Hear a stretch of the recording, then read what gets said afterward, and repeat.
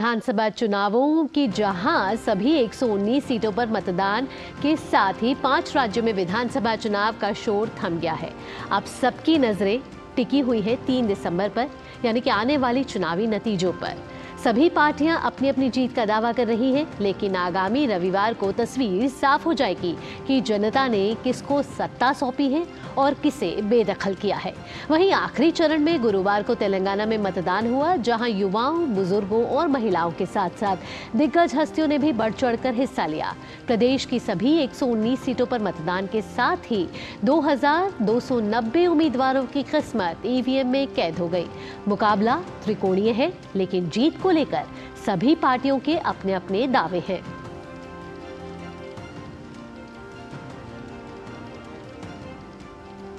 और वहीं पाँच राज्यों में मतदान के बाद अब गुरुवार शाम को एग्जिट पोल के परिणाम भी आ गए।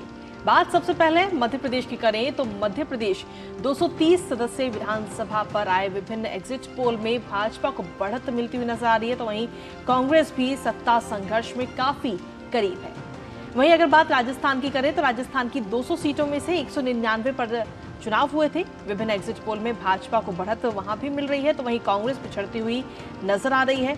और अगर बात की जाए छत्तीसगढ़ की तो विभिन्न एग्जिट पोल में कांग्रेस को फिर से सत्ता के नज़दीक बताया गया है। वहीं भाजपा सत्ता संघर्ष में थोड़ा पीछे इसमें नज़र आई है। तेलंगाना की अगर बात करें तो यहाँ पर आए विभिन्न एग्जिट पोल राज्य में सत्ता परिवर्तन के संकेत दे रहे हैं। एग्जिट पोल के अनुसार कांग्रेस को सत्ता मिल सकती है तो बीआरएस उससे थोड़ा सा पीछे नज़र आ रही है। वहीं मिजोरम की अगर बात करें तो वहाँ पर आए विभिन्न एग्जिट पोल में एमएनएफ को सबसे ज़्यादा सीटें मिल रही हैं। तो वहीं आपको बता दें कि जेडपीएम दूसरे नंबर पर नज़र आ रही है। इसके अलावा पाँच राज्यों के चुनाव, सभी दलों ने अपने अपने दावे किए हैं और चुनाव की समाप्ति के बाद मतदान के बाद हुए सर्वेक्षण, यानी कि एग्जिट पोल ने भी जनता की राय अब बता दी है। हालाँकि जनता ने असल में किस पर भरोसा किया है, ये तो आने वाली तीन दिसंबर को ही साफ़ हो पाएगा। हालाँकि इसके लिए बेसब्री से इंतज़ार हम सभी लोग कर रहे हैं कि आखिर जनता ने किसको चुना है? पाँच राज्यों में विधानसभा चुनावों के बाद। तो जनता जनार्दन ने किसको चुना है और ये सब साफ़ हो जाएगा। पाँच राज्यों के विधानसभा चुनावों के परिणाम तीन दिसंबर को आने वाले हैदराबाद से हमारे संवाददाता राजेश राज ज़्यादा जानकारी के साथ जुड़ चुके हैं। राजेश, सुप्रभात।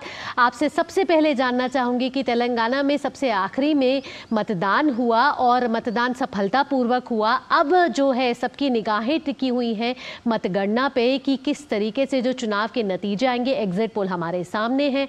और जिस तरीके से कहा जा रहा था कि त्रिकोणीय मुकाबला है तो अभी किस तरीके की तस्वीर जो है वो नज़र आ रही है?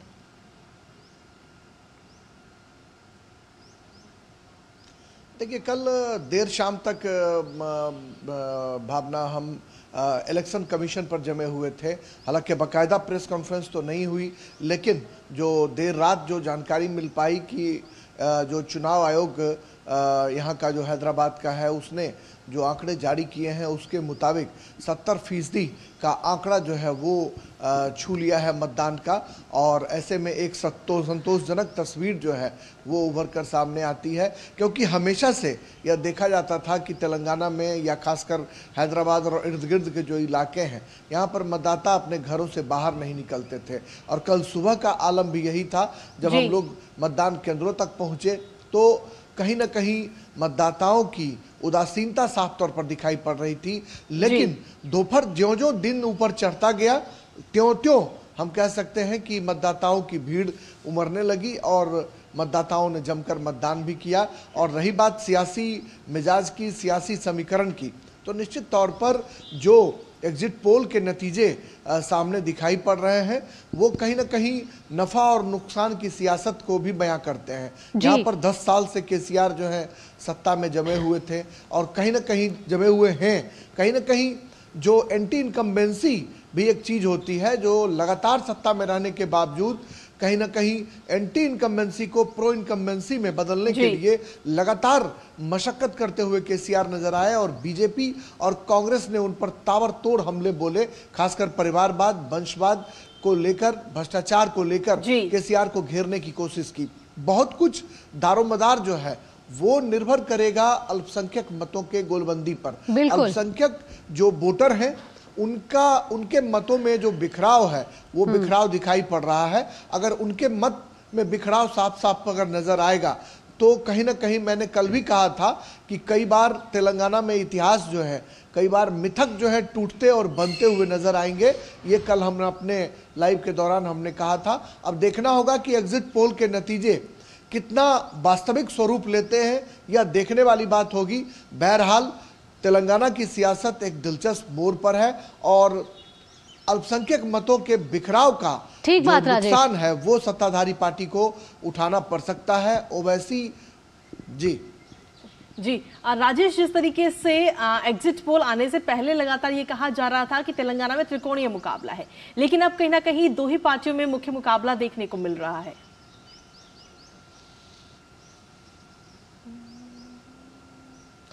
हाँ देखिए निश्चित तौर पर भारतीय जनता पार्टी ने ओबीसी मुख्यमंत्री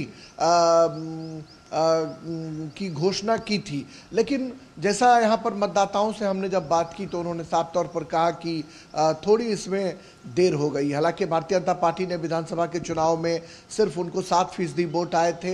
एक विधानसभा सीटों पर उन्हें कामयाबी हाथ लगी थी। बाद के दिनों में दो उपचुनाव जो हुए उस उपचुनाव में बीजेपी को चुनाव जीतने में कामयाबी मिली। जो नगर निकाय के चुनाव थे उसमें बीजेपी ने अच्छा परफॉर्म किया।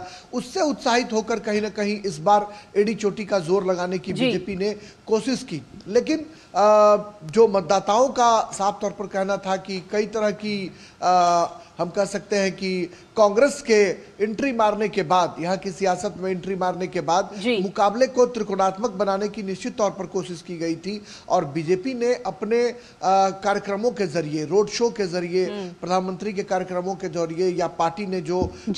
एरी चोटी का ज़ोर लगाया एक दमदार उपस्थिति दर्ज कराने की कोशिश ज़रूर की और लोकसभा चुनाव में 20 फ़ीसदी से ज़्यादा वोट भी उन्हें मिले। लेकिन कहा जाता है कि ये पब्लिक है जो आ, कई बार पब्लिक का मूड बनता और बिगड़ता रहता है।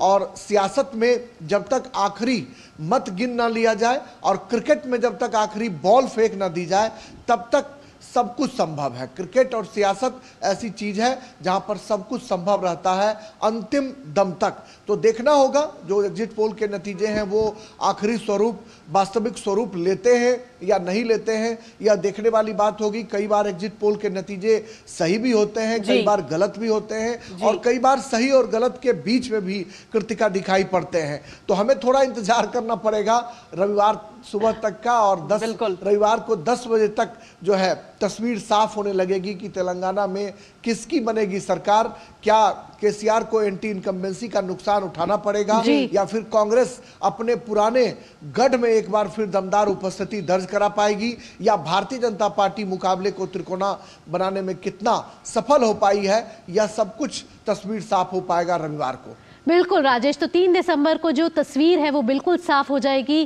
कि केसीआर जो है सरकार वापसी लेती है या फिर सत्ता परिवर्तन होता है। फ़िलहाल मैं आपसे ये जानना चाहूँगी कि चुनाव आयोग की क्या तैयारियाँ हैं, क्योंकि सुरक्षा के कड़े इंतज़ाम किए गए होंगे। परसों का ही दिन है, एक दिन रह गया है। तो तेलंगाना में किस तरीके से अभी सुरक्षा के इंतज़ाम किए गए हैं, मतगणना को लेकर? देखिए अगर हम पोलिंग की बात करें तो पोलिंग के दौरान हमने देखा कि अर्धसैनिक बलों की टुकड़ियाँ तमाम मतदान केंद्रों पर तैनात थी और कोई परिंदा भी ज़मीन से लेकर आसमान तक पर न मार सके इसका पूरा ख्याल चुनाव आयोग ने रखा था तेलंगाना पुलिस की सैकड़ों टुकड़ियाँ थी और अर्धसैनिक बलों की भी टुकड़ियाँ जो थी वो तैनात थी तो जब मतदान के दौरान चप्पे चप्पे पर क्या अर्धसैनिक बलों की टुकड़ियाँ। और तेलंगाना पुलिस ने नज़र रखी तो निश्चित तौर पर मत जो मतगणना का काम है। उस मतगणना के दौरान भी चप्पे चप्पे पर कड़ो, कड़े बंदोबस्त जो है, वो किए जा रहे हैं और कहीं ना कहीं जो सीमावर्ती इलाके हैं, महाराष्ट्र और छत्तीसगढ़ से सटे हुए, जो वामपंथी उग्रवाद की चपेट में रहे हैं। उन इलाकों में कल भी हमने देखा कि मतदान का काम चार बजे तक पूरा करा लिया गया। और शाम में 106 सीटों पर पाँच बजे तक मतदान हुआ और चार बजे तक तेरह जो विधानसभा क्षेत्र थे वहाँ पर मतदान हुआ जो सीमावर्ती राज्यों से सटे हुए थे। तो इन तमाम जगहों पर कड़ी निगरानी की जा रही है और चुनाव आयोग कृत संकल्पित है बेहतरीन मतदान केंद्रों पर जिस तरीके से पिंक बूथ मॉडल बूथ बनाकर दिव्यांगों के लिए विशेष व्यवस्था करने के बाद हमने देखा कि चप्पे चप्पे पर नज़र रखी गई तो मतगणना के लिए भी कहीं ना कहीं चुनाव आयोग की व्यवस्था बिल्कुल मज़बूत है और उसे फुल प्रूफ बनाने के लिए इलेक्शन कमीशन के जो लोग हैं वो लगातार मशक्कत कर ठीक बात राजेश। बहुत बहुत शुक्रिया। राजेश इतनी महत्वपूर्ण जानकारी हम तक पहुँचाने के लिए कि तेलंगाना में इस समय किस तरीके का माहौल है और चुनाव आयोग की जो तैयारियाँ हैं वो बिल्कुल फुल प्रूफ है बहुत बहुत शुक्रिया। बिल्कुल और जिस तरीके से देखा जाए भावना तो तेलंगाना को लेकर के इन पाँच राज्यों में जो विधानसभा चुनाव हुए इसके लिए बेसब्री से इंतज़ार